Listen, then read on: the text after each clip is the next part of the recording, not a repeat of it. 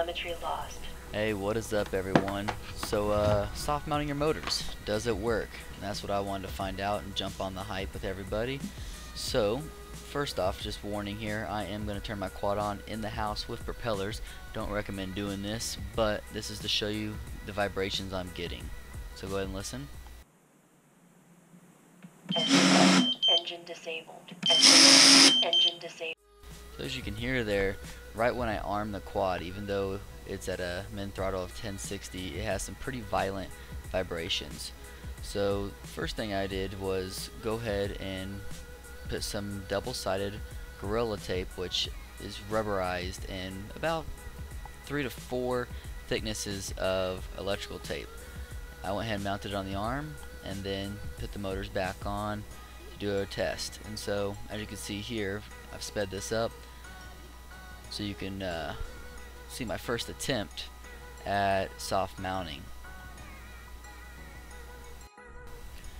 Okay, so after I finished up all four arms, I went ahead and retested it to check for oscillations and vibrations here. Let's go ahead and listen.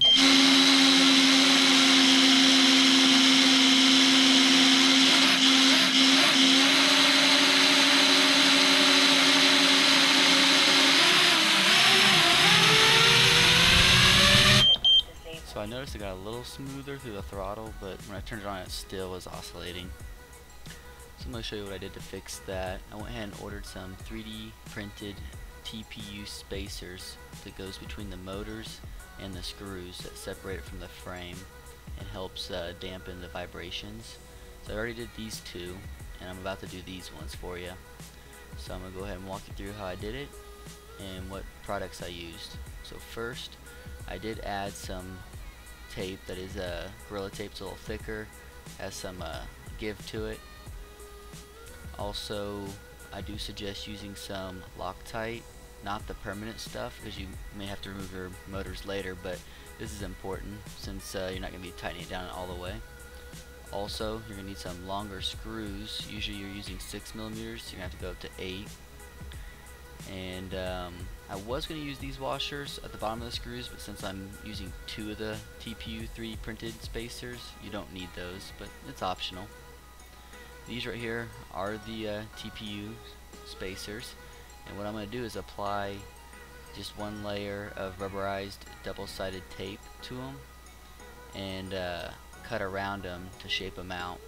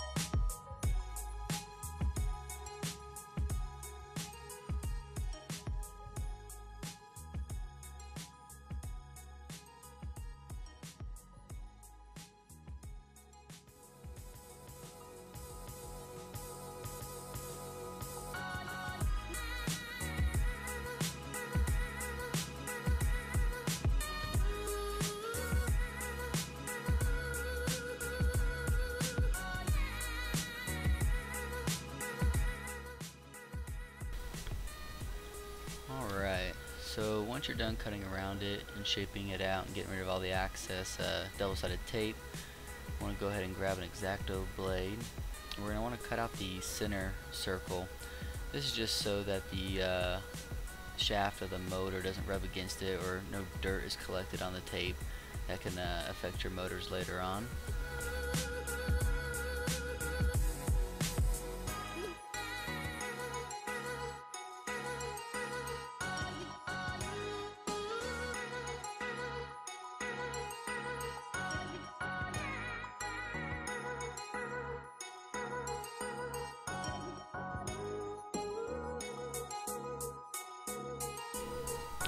And then you're going to want to go ahead and just cut slits where the screws are going to pop through.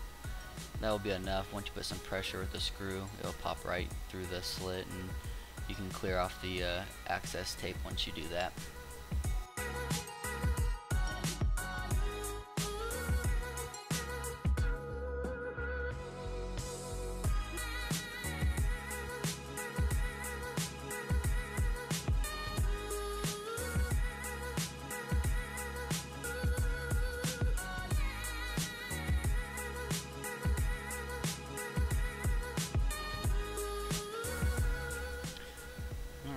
So now it is time to remove the motor. So just go ahead and take the old bolts out. These are going to be the uh, 6 millimeter, and you're just going to put those to the side. We're not going to be using those.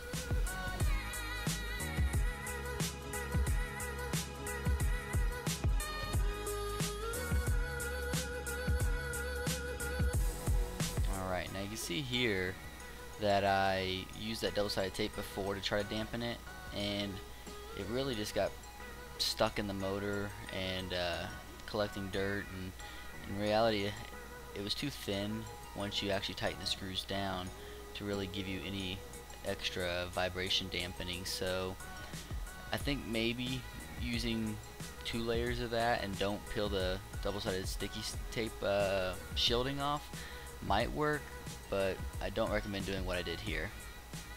So I'm just gonna toss that aside and get these new ones installed for you.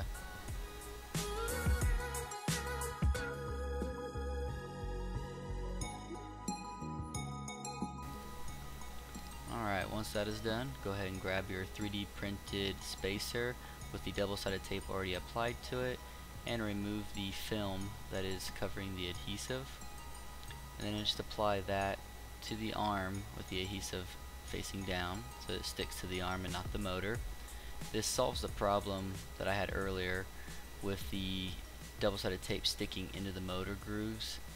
By placing the 3D spacer, it is harder and you know it's uh, plastic so it's not going to push through but still gives it that gelatin effect with the double-sided tape being rubber so it dampens those vibrations. Then go ahead and apply the second one to the bottom of the arm the reason I'm applying two of them is I'm using 8mm screws and with the 4mm arm and each one of these being roughly a millimeter and a half with double-sided tape on them it gives me just enough threads to actually stick into the arm or into the motor. Here you see me just pushing the screws through the arms and through the tape. You gotta push a little hard to get through the slits that we cut earlier. Once the threads appear through the top though, you can just go ahead and uh, remove some of the gunk and the sticky goo from the tape.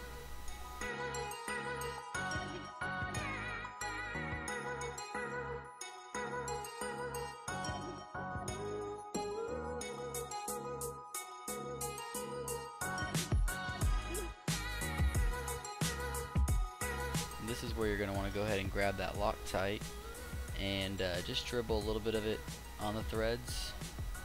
Don't want a bit too much just enough to coat it.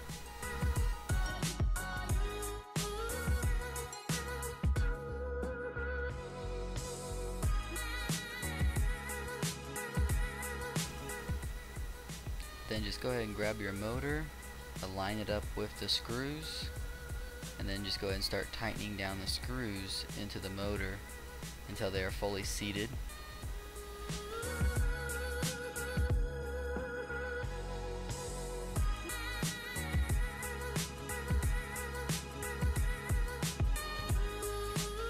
With these spacers installed and having that rubber between the motor and the arm, the screws themselves won't get completely tight and that's why we have the Loctite on there so they don't come loose. They will feel snug, but if you keep tightening down all the way, you're just going to break through the TPU.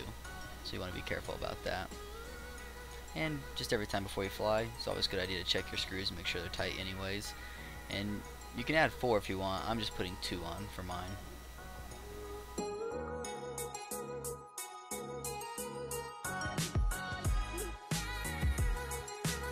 Alright, now I got that one finished, I'm going to go and get this one done as well. And once I'm done, I'll show you the completed product. And just like that it is all done. So as you can see here I got all four mounted with the uh, TPU spacers with the double-sided tape between it. So uh, let's go ahead and test it.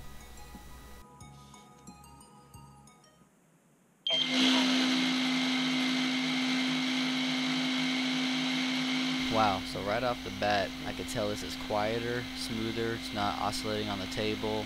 So I have to say, this worked. And uh, I was actually a little surprised at how much better it did than just the tape by itself. So uh, hopefully you guys liked it and enjoy this quick flight of mine.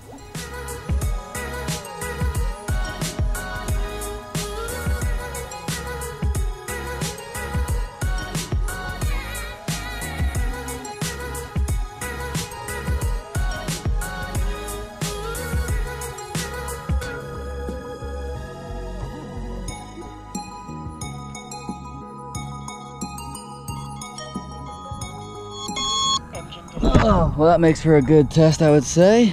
We'll go make sure that motor's good. Alright, well, I have to say that soft mounting is a success. Everything sounds a lot quieter. Everything is uh, smoother even after my punch outs, um, after flipping or just everything I'm doing. So, good stuff. I would uh, go ahead and say go for it. It's worth it.